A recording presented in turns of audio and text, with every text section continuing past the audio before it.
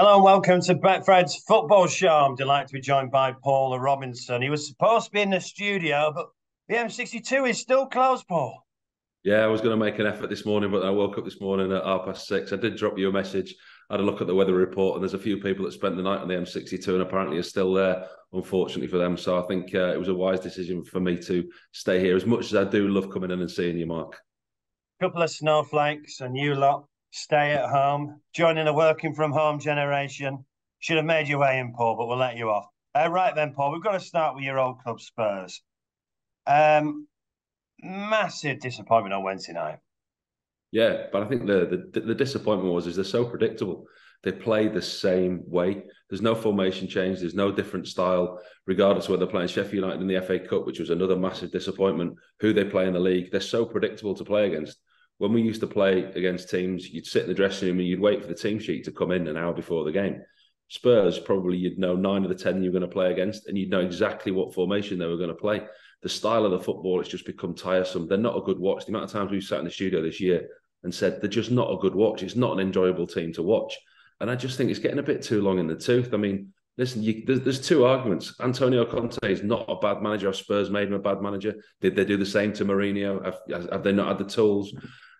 You can argue was if Pochettino was backed after the Champions League final, that should have been the time where the money went into the club, and Pochettino should have had, the money. But I think Conte has been backed, but I just think it's got a bit too tiresome for everybody, and I think it's a situation that would work. I mean, it's great to see Antonio Conte back on the touchline after his spell of, of ill health, and we, and we wish him well. But you just you would just wonder. You saw his interview after the game in midweek against AC Milan, and you just wonder: is his heart still in it? Is his heart still there? Or is it a case of he would quite happily move on and step aside if the club wanted to look in another direction? And I think that has to be the case, Mark. I really do. I just I can't see how this team are going to progress or develop under him. The, the style is he's got no plan plan B.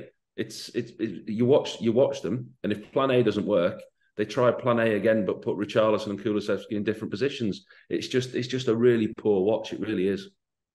Well, a direct question then: Is it time for Conte to go? I think it is. Yeah, I do. I think. Listen, he's, he's coming to his contract, uh, the end of his contract at the end of the season, and I think that will be the the separating of the ways, if you like, at the end of the season.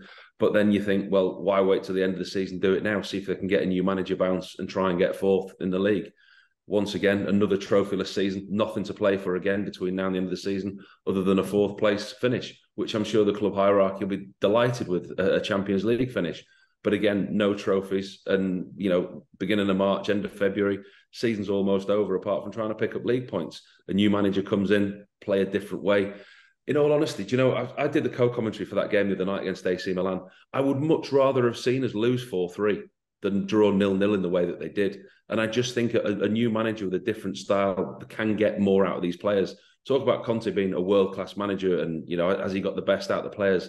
If he's a world class manager, he's got to get the best out of the players by playing a system that works for them. And like I said, I'd, I'd rather see us go down fighting, losing four, four, four three, five, four, than a, an absolutely dour nil-nil draw. And we had one shot on target, Tottenham, and it was a great save by Maignan, the AC Milan goalkeeper. But it took 96 minutes. No, it was frustrating to watch. You, you, you're watching, thinking, just go for it. Right then, who would you like to take over at Spurs and Paul? I think there's a decent list of candidates now. Pochettino is obviously the favourite candidate, and I think we know the relationship that he's got with certain players there, and, and Daniel Levy in the hierarchy at the club. But with Pochettino coming back in, there's a case of you know, do you go back? Is you know, is, do you go back to old ground? I think it was. You look at the finishes that he had in the Premier League: second, third, fourth, fourth, third. He took the team to a different level, but also played a style of football that was pleasing on the eye. And Spurs were a good watch back then you know, there's an argument: do you want your team to be defensively resilient and get results, or do you want to play decent football and get results? And he played good football and got results. But at the same time, he'll come back after what six years, six and a half years, looking at a dressing room and go, oh, "Eric Dier, oh, you're still here." Ben Davies, oh, you were on the bench when I was here. You're still here. There's certain players in that dressing room that haven't the dressing room hasn't been evolved. But if he comes back, he has to be allowed to do that and evolve the, the, the dressing room. Thomas Tuchel's out there. Is he another Chelsea manager that could come and we could make bad? You know, we've we've, we've had good success of doing that. Um, that there's a lot of good coaches out there at the moment. Yeah, Simeone's another one that I'd like to see a top English club go and get, but his style of football again is really poor on the eye. De Zerbi's done an unbelievable job at Brighton. There's another one. Thomas Frank, excellent. But are Thomas Frank and De Zerbi, are they the next Graham Potter if they take the next step to the next level? If you want tried and tested, you, are looking at Pochettino. I think if you want to appease the fans between now and the end of the season, you get the fans' favourite back in. But he's he's had a lot of time off between now and then. Not time off. He's he's worked differently. He's a different coach to when he left Tottenham, and Tottenham are a very different outfit to when he left. So would it work? Listen, I, I think it's I think it's worth taking the risk on him. In all honesty, I really do. I suppose the most important question now: Can Spurs finish in that top four? Liverpool breathing down our necks. Newcastle just had a bit of a blip up there. Can Spurs finish in the top four? Oh, listen, they, they can put all the focus on finishing in the top four. Whether they can do it or not with the amount of inconsistency that they have is, is the next question. Liverpool seem to be hitting form at the right time. Listen, I'm not getting too carried away with Liverpool at the moment. They've beaten Wolves 2 0 and they've beaten Man United 7 0, which was a freak result. Man United rolled over in the second half. It was 1 0 at half time. The way that Manchester United capitulated, it, it wasn't of you know, usual what we would expect from Manchester United. Liverpool have still got a lot to do, but his treatment room's emptying quickly. He's getting players back. His midfield will be a test for him.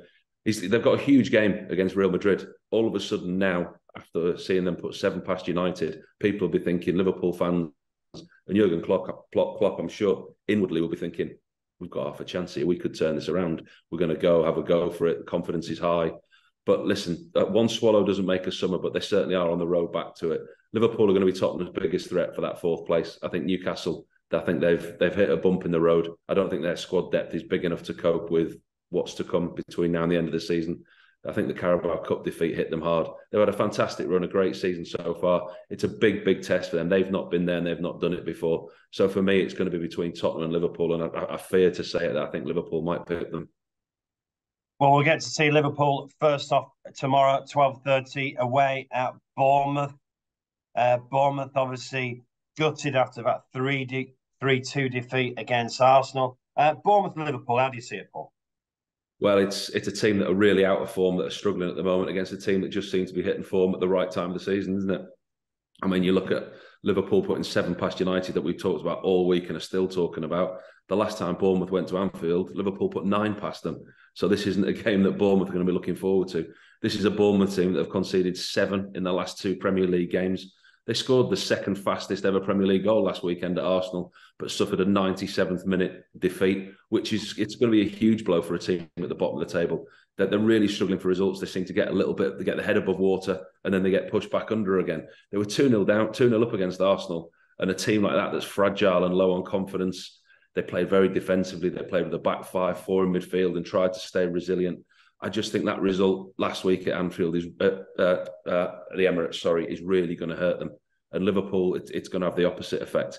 They're scoring goals, but the thing is, they've showed up at the back with Van Dijk and Konate partnership back together. They've got five clean sheets on the bounce. So this isn't one that's going to make you a lot of money this weekend if you're only going to back Liverpool to win.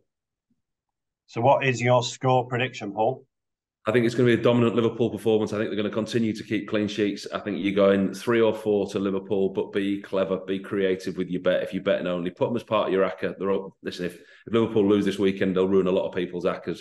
But put them as part of your ACCA. Be creative. Three or four to nil. Pick a goal scorer. Always like a centre half from corners. I'm going to go three nil Van Dijk.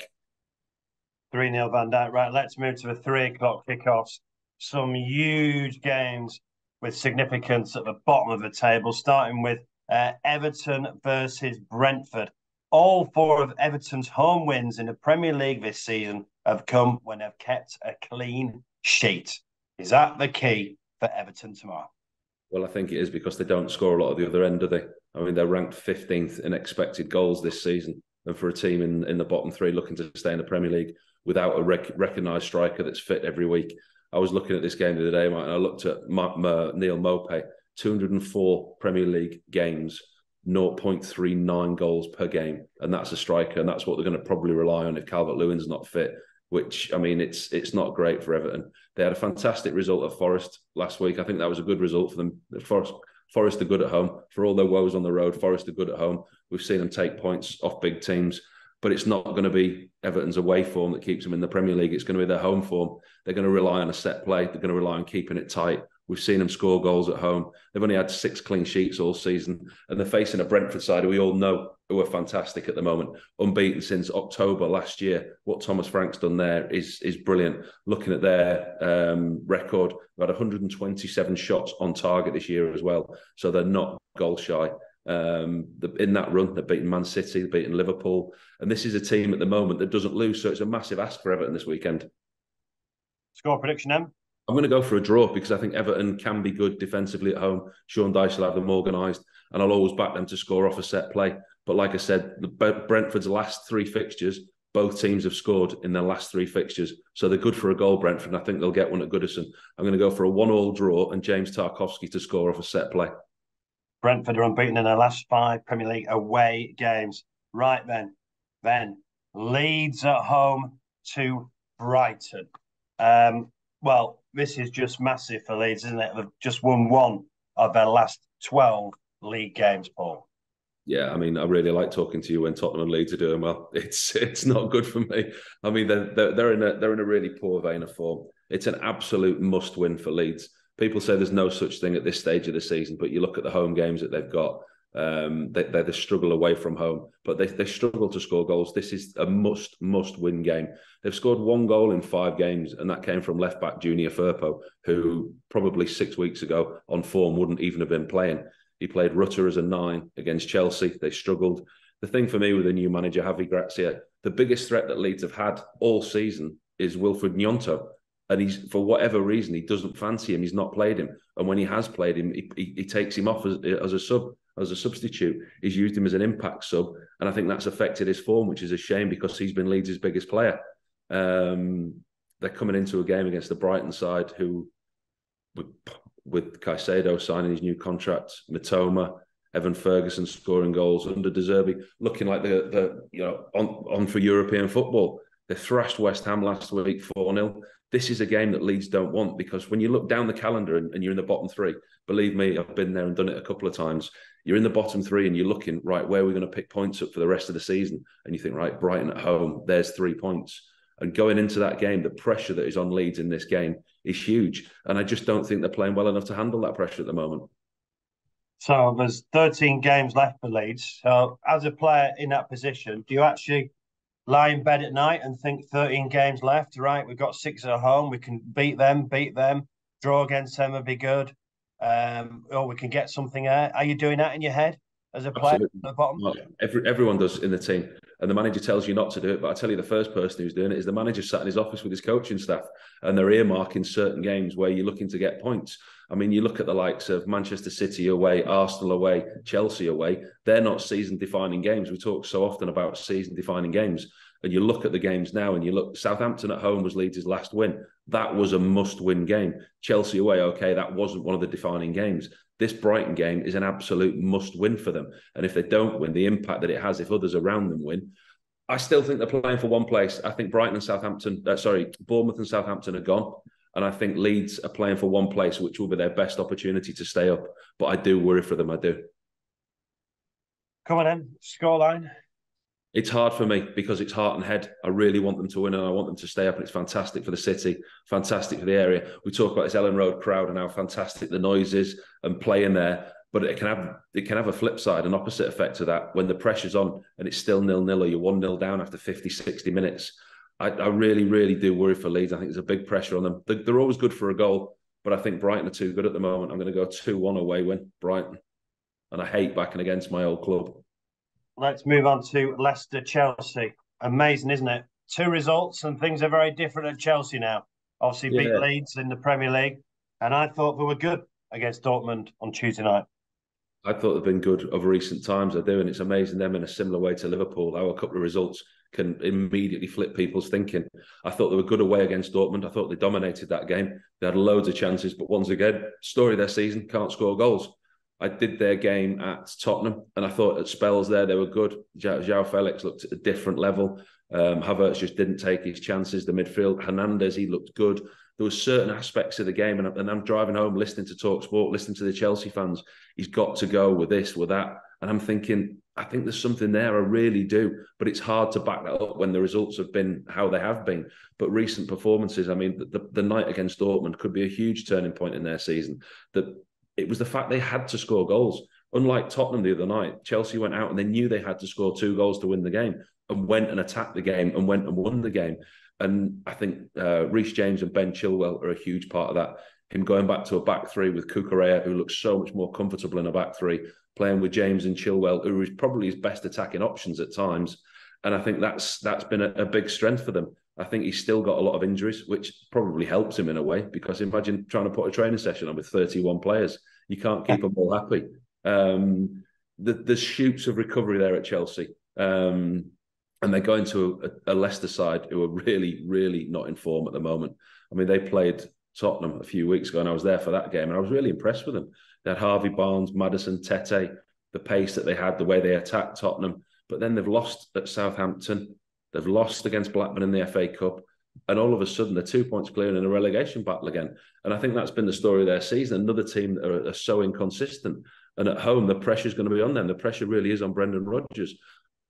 There's a lot said about Brendan Rodgers, whether he's a top manager, whether he's whether he can do it at the top level consistently. I think that his team have got to take a lot of responsibility. Yes, he's lost players, but you look at that Leicester team on paper and you look at the squad, they shouldn't be where they are, but they're a team that are low in confidence. Go on and give us a prediction. As I just said, Chelsea don't score many, but I think they'll score two this weekend again. I think they'll go to the King Power. I think they'll dominate Leicester. A 2 0 win, and João Felix is always good for a goal. Right, I'm afraid we are going to have to talk Spurs again. At home to uh, Nottingham Forest. It's not a game that they want. I mean, it's a game that they're expected to win, and it's a tough game for them. Forest on the road are historically poor, though. They had a decent result against Everton at home last week. They've lost 4 0 on the road to West Ham and 2 0 on the road to Fulham the last two games. So you would think that this is a game that Tottenham would look to win easy.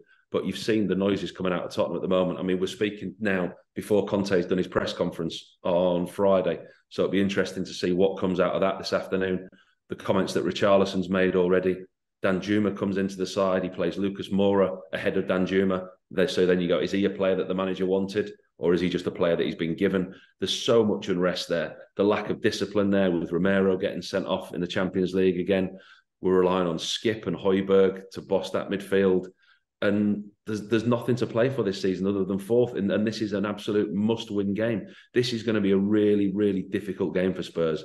The crowd are going to come after a disappointing Champions League. They're going to turn against the board, which they already have done. Some will turn against the manager. If Spurs aren't one or two nil up early on in this game, it could be a really interesting atmosphere. This is one for all of you guys that like betting in game. This is a game to watch because if this goes to like 50, 60 minutes and it's still nil nil, get on Forest.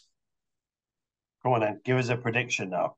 I, I, I think Spurs will win I think they'll get an early goal. I hope they will anyway. Um, they've got to get past Navas first, though, in the Forest goal. He's been excellent, hasn't he, since he's come into, into, into the team. They're four points clear of the bottom three, so Forest are still playing for a lot. I think they'll give Spurs a tough game, but I'm going to go 2 1 to Spurs.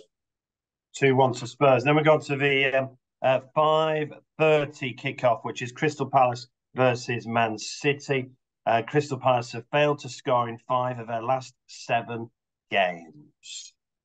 Yeah, they've got to be one of the worst, if not the worst, watching the Premier League at the moment. There's a couple of their games that, if they'd taken place in the back garden, I wouldn't have opened the curtains this season. Oh. They really are a poor watch. And they were my outside tip a couple of weeks ago to, to get sucked back into this relegation zone. They're playing against the City team who are flying again at the moment. I mean, the, the win against Newcastle was pretty, um, you know, pretty normal, pretty standard. Dominated the game as you would expect from them. They've got a big game this week against Leipzig coming up though, and we all know that that's the holy grail for Pep. We all know that that's the Champions League is what he wants, but at the same time, the five points behind Arsenal. So he's going to approach this game very, very seriously. Pick a strong side because Palace historically have been Man City's bogey team. They've really been a thorn in their side. Palace have lost Doucouré, who was sent off last week against Villa, I thought, unfortunately. So he'll be a big miss for them. And I can't understand why they've not scored more goals, Palace. I'm looking at the forward line. Zaha, Eze, Olise, Ayew. They've got the players there, but just the way that they play, that they're just not a good watch. I mean, yes, as much as City changed the team up, I can't see him slipping up. I think it'd be a difficult game for City, and I can see Palace getting a goal because they normally do against City. But I'm going to go for a three-one away win. Three-one to Man City. Like, let's move to Sunday.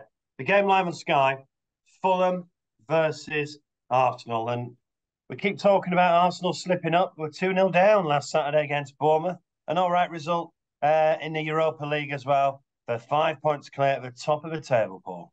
Yeah, they showed character again last night in the Europa League against Lisbon, didn't they? Um, I think the, the, manager wasn't too pleased, but what he's got there in that dressing room, the, the team, the togetherness, the camaraderie, it showed against Bournemouth last week. It wasn't their greatest performance, but they they they're grinding out results, and that's that's what champions do. I just wonder if if Mikel Arteta wants that finishing line to come. I think they're a bit like a horse that's two or three lengths clear, that's just struggling, and he can feel somebody coming behind it and breathing down its neck, and wants the finish line to be half a furlong or a furlong near, and he's not quite going to get there. This is a big, big test for Arsenal because Fulham are a decent side this year. They're in the quarter final of the FA Cup. European European football is a real possibility for them. But there's one big thing. I said it to Matt earlier in the week when we when we did a preview on the Fulham Brentford game. Palhinha at the back for Fulham has been a huge. He's going to be a huge miss. He was missing for the Brentford game and they conceded three, and they, yeah. they really really could do with him against Arsenal on Sunday. I think he'll be a miss. Um, saying that, I do think Arsenal will win. I think it'll be another test for them. Um, local London derby. It'll be a tight game. I don't think we're in for a load of goals, although Mitrovic can cause problems. I think the Gunners will keep a clean sheet and they'll win 1 0. 1 0. Arsenal. Right, the game you're going to be out for five live, Man United Southampton. Uh, obviously, interesting last night, bouncing back, winning 4 1. I suppose Manchester United have got to make sure that they win the next couple of games to make sure that the 7 0 at Anfield is not a season defining moment. Yeah, I think last night was huge for them. I thought the way that they performed uh, the crowd were excellent last night at Old Trafford. Watched the game, obviously, to work because I'm doing the game at the weekend. So I watched it closely. I thought Bruno Fernandes played particularly well. He was under a lot of scrutiny, although I do think he should have been sent off. It was an awful tackle on Claudio Bravo, the goalkeeper, and that's the side to his game that I don't like. I think he was really, really good in the game, and I thought he showed good leadership qualities, which have been brought into question this week. But that little bit of him, that side to the game, yes, it's an edge, but he knew straight away it was naughty. He went over to try and get Claudio Bravo off the floor, and he was lucky to get away with that. But the thing for me, the interesting thing was Erik Ten Hag picked exactly the same team against Liverpool, and that's good man management for me. That's like, well, you did it, off you go and put it right. There was no changes, no resting anybody. That was uh, you've embarrassed yourself, you've embarrassed the club. You go out there and you put the situation right. And for me, that was good man management. He, he made a lot of changes in the second half, which is understandable. And I just think it was a good all round performance by them, what they needed. And with Southampton coming to Old Trafford at the weekend, it's a game not that they should win, they have to win. That there's there's no option. If they if they do anything other than win, they'll come in for criticism again. How good is Marcus Rashford at the moment? That was goal number 26. Well, it's his best ever haul, isn't it, in the Premier League?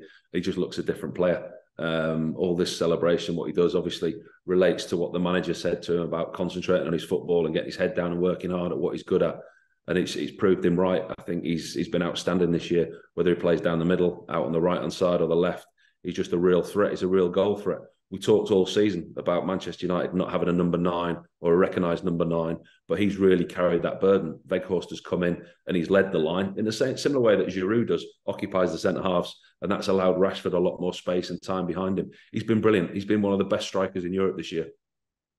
Come on, then, give us a scoreline for the two o'clock game at Old Trafford. This is like the Liverpool game. There's no value in backing United. Put them as part of an ACCA. Put, be, be creative with your bets pick a, a penalty taker, pick a pick a, a, centre half. I'm going to go United 4 0 and Fernandes from the penalty spot. Right, West Ham Villa also at two o'clock Sunday. West Ham 23 points, just one point clear of Everton in 18th. Yeah, they've struggled, haven't they? I mean, you, you think they're coming back, they get a decent result at home, then they go and lose 4 0 uh, at Brighton in a way that you wouldn't expect. They're realistically in a relegation battle when you're looking at the league. They're right down there, um, and he's got a lot to do. David Moyes. Uh, they had a decent trip to Cyprus last night. They won two 0 comfortably. You you wonder what that's going to take out of them um, midweek travel all the way over there. But they're playing against an Aston Villa side who are better on the road than they are at home. You look at what Unai Emery's done. I think four out of the last five is unbeaten away from home and they, they get better results away from home. So it's it's not a it's not a given for for West Ham this weekend. Come on, then, score prediction. I think it'll be a tight one. I really do. Villa don't seem to get beaten on the road, but West Ham are desperate for points. And I think both managers quite happily would walk away from this this game with a point. David Moyes even more so. So I'm going to go for a one-all score draw. And finally, we finish off on Sunday at 4:30. Newcastle versus Wolves, and obviously, I think it'll be interesting to see what Newcastle are like at home after the Carabao Cup defeat. and obviously the defeat uh, against uh, Man City, bringing that away run to an end. Yeah, I'm going to be a bit controversial here. I think their bubble's going to burst. I quite like this Wolves team um, under Lopetegui. I think he's got them organised. They beat Tottenham last week, which I mean depends which Tottenham team turn up to, to, to to how you got on against them. But I thought they were good against Tottenham. They lost against Liverpool, drew against Fulham, but I think they're going in the right direction. Wolves. And I just think Newcastle this weekend at home, been up there a couple of times. The atmosphere is fantastic, completely changed. Um, there's there's now an air of a little bit of expectation because with some su- success comes expectation, and it'll be interesting to see how these these players handle it. I think Isak will come into the side because he's been fit, so I think he's he's always good for a goal. But a big miss for Newcastle this weekend is Joelinton. Uh, he's out suspended, so that they'll miss him. The shape won't change, but they'll stay exactly the same. Um, I'm just looking at Newcastle's recent results: lost at Man City, lost at Man against Man United, lost against Liverpool, draws at Bournemouth, and draws at home to West Ham. So yes, okay, they're still up there and they're still fighting, but I think they've they've got a big test, and I just think this Wolves side can be resilient and go up there and get a result. Go on, end prediction. So both teams to score because I fancy Alexander Isak for a goal. 2 1 to Wolves, a late goal from Wolves to nick it. That's a 4.30 game on Sunday.